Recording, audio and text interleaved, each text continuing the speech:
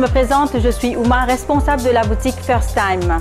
Nous sommes spécialisés dans la vente de chaussures mondialement connues, telles que Kenzo, Azaro, Picodinos, Azure et plein d'autres. Notre compagnie existe depuis 1988 et nous avons été toujours associés au Codan Waterfront depuis son ouverture. Nous prévoyons d'ouvrir une nouvelle boutique au Jaspire qui commercialisera des chaussures mode et street fashion.